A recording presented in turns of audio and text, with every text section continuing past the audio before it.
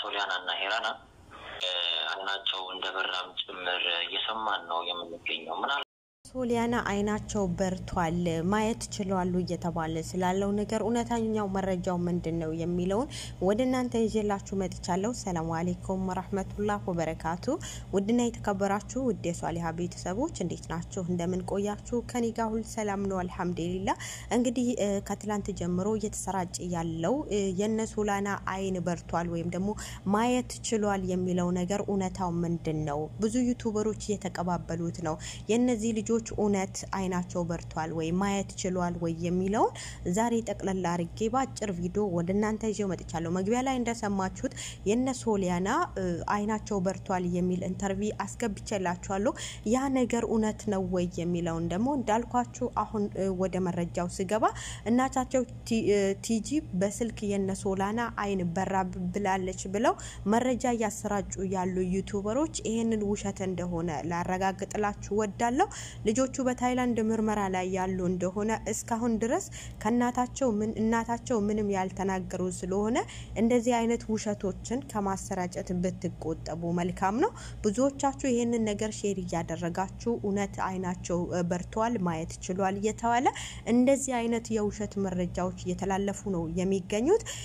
ይህ ምኞት የእኛ ምኞት ነው፣ የሁላችንንም ምኞት ነው። እነዚህ ልጆች አይናቸው እንዲበራ ነው ሰው ጎፈንድሚ ከፍቶ እየተረባረበ የነበረው ነገር ግን ደግሞ እንደዚህ ውሸት ገና እነዚህ በሕክምና ላይ ያሉ ሕክምናቸውን እየተከታተሉ ባሉበት ሰዓት ነገሩን ባንዴ ጠቅልለው ነገሩ እንዳለቀ ነገር አይናቸው እንደበራ ነገር ሕክምና እንደጨረሱ ነገር አድርገው አይናቸው በርቷል ብሎ በሚዲያ ማሰራጨቱ ይሄ አግባብ ነው ወይ? ለምን ይሄ ይደረጋል? እንዲህ ለምን እነሱ አሁን እነዚህ ልጆች ገና ሕክምና ሀ ብለው ገና መግቢያ እየጀመሩ ነው ያሉት። ብዙ ነገር ያስፈልጋቸዋል። ብዙ process ይቀራቸዋል። ብዙ ህክምና ይቀራቸዋል። ይህ የተሰበሰበው ገንዘብ ላይበቃቸው ሁላ ይችላል። እነዚህ ልጆች ገና ይሄ ነገር እያለባቸው አይናቸው በርቷል ብሎ ማህበረሰቡን ማዘናጋት ወይም ደግሞ ለነሱ ድጋፍ እንዳይደረግላቸው ማድረግስ አግባብ ነው ወይ? ይሄን ያህል ዋሽተ በእርግጥ ብዙ ነገር ይዋሻል፣ ብዙ ነገር ይደረጋል። YouTube ሲባል ማለት ነው። ያኔ ሳንቲም ለማግኘት ይህን ያህል ስግብግብ መሆን ለምን አስፈለገ? ገንዘብ እኮ ጠፊ ነው። ብዙ ነገር ያደርጋሉ። ከዚህ ቀደም እንደምታውቁት ያልሞተ ሰው ሙቷል ይላሉ። በጣም ብዙ ነገር አይተናል። ውሸት ግን ደግሞ በነዚህ ጨቅላ ህጻናት በነዚህ ልጆች ደግሞ እንደዚህ መዋሸት እንደዚህ ሰውን ማዘናጋት ምን የሚሉት ነው? እነሱ በጣም ነው ያፈሩት። እነሱ በጣም ነው የደነገጡት።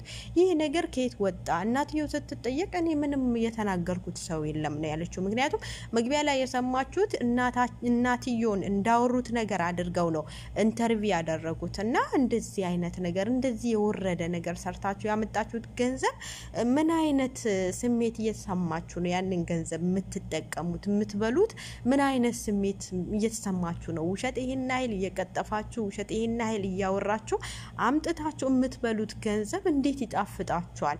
በተለይ በእንደዚህ አይነት ህጻናቶች በእነዚህ አይነት በፈጣሪ በፈጣሪ እጅ የተያዘ ሰው በጣም ከባድ እኮ ነው። በእነዚህ ልጆች እንደዚህ ብላችሁ የምታመጡት ገንዘብ እኔ እንጃ ምን ተሰምቷችሁ እንደምትበሉት ራሱ አላቅም።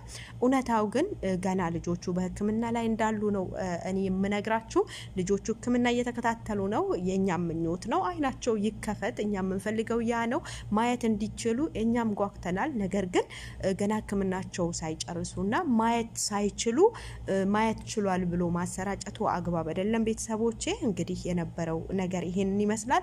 እውነታው ይሄ ነው። አሁንም ቢሆን ከውሸት እንድትቆጠቡ ውሸት ከማሰራጨት ብትቆጠቡና በተለይ ደግሞ እነዚህ አይነት ልጆችን ድጋፍ ሰው እንዲያደርግላቸው እንዲረባረብላቸው ማድረግ ሲገባ እንደዚህ ውሸት መቅጠፉ አስፈላጊ አይደለም። ቤተሰቦች እንግዲህ ስትከታተሉት የነበረው ቆይታ ይሄን ይመስል ነበር። ውሸትን በጋራ እንከላከል እያልኩ የዛሬ ቪዲዮ በዚህ ሰናበታችኋለሁ።